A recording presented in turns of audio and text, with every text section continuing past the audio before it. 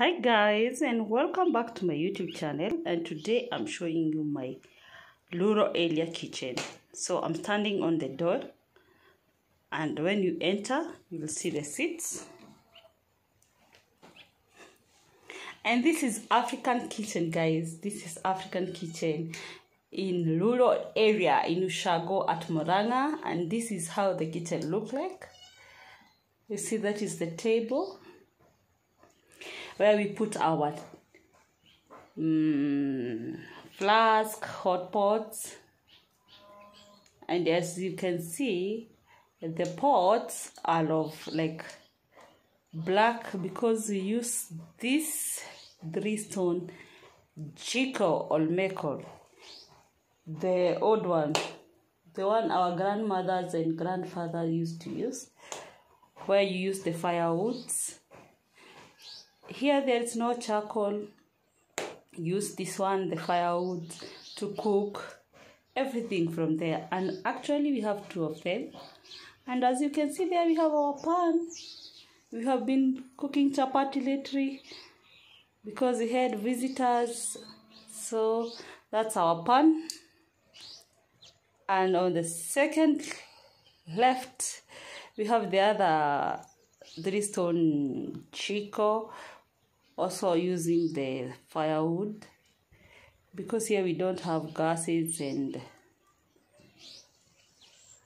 and uh, charcoal we use firewood. At the corner there guys you'll see my phone and also there is a chopping board. Oh my goodness that is a chopping board. So big so big so big for like last time we slaughtered that goat and that is where we use to cut the goat and also to cut the tomatoes and everything. So that is our chopping board. So this is how we do it guys. And as you can see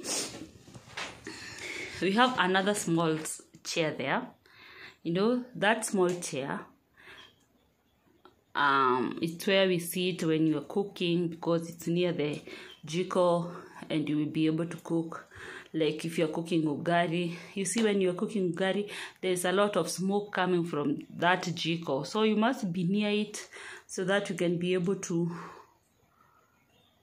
to cook because you can't cook when you're far on my and the other side here i have a sufuria.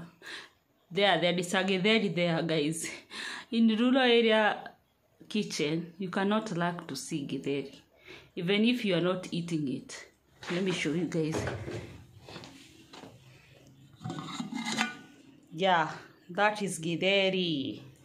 Beans and maize mixed together. And there is another one here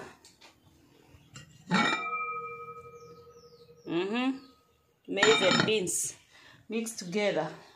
You cannot rack that in the rural area because like now there's people who are doing farming outside there others are doing because here it's Murang'a we have a lot of uh, tea. So people who are doing tea outside they will come like they have a break and they want to eat something. So there is two flasks there which i have prepared tea so when they come from the shamba like at around 12 they will have the the plate of githeri and a cup of tea. So in the rural area kitchen you must have githeri inside your kitchen or something else like ugari because people are working there are those who are working in the shamba like uh, bringing glass for the cows. So at time they need to eat so you must have something in the kitchen. So that's how the kitchen look like. It's not a classic kitchen actually. It's very rural very simple. But you have to bear with smoke because smoke is everywhere. Like for me i have drunk the smoke and until now i'm feeling that i'm comfortable with it. So that's how the kitchen look like and as you can see guys there is a window there coming out the smoke because we are using firewood and nothing you can do about it. So i want to take you at the back of this kitchen because we have the like in our city we have the dish rack where we put clothes. Now i was doing dishes i was washing them. And when you immediately you finish washing the dishes this is where we put the them this is the dish rack. So this is actually it's a new dish rack guys. It's a new dish rack. And uh, I yeah I have to call it dish rack because it's where we put clothes after you are washing them. You will put them there. And you can see like have some buckets there for milking the cows that's where we use the then we have like four cows like like four cows and they have a lot of milk. So you have you must have some many of them. So that's where we have we put our dishes. And guys let me tell you the sufurias or the pots they are black. You know because we are they are using firewood. Like they are using firewood. Nothing you can do about that. Even if you wash them to become white and they then they are very clean within another second they will turn like that. Because you are not using gas we are not using charcoal we are using firewood.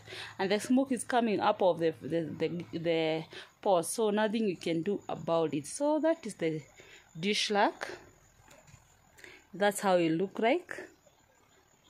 Outside the house when you wash plates and you wash all the sufurias you come and put them there. So this is the easiest life that we are living here in the rural area for the time being. And then it's very easy guys. It's very easy because like sufurias we don't have to do them like the way we we do in the city. Just simple. Water and soap quickly and you're done with them because they don't need that much of washing so that's how we do it here in blue area. As you can see down there guys down there you can see tea.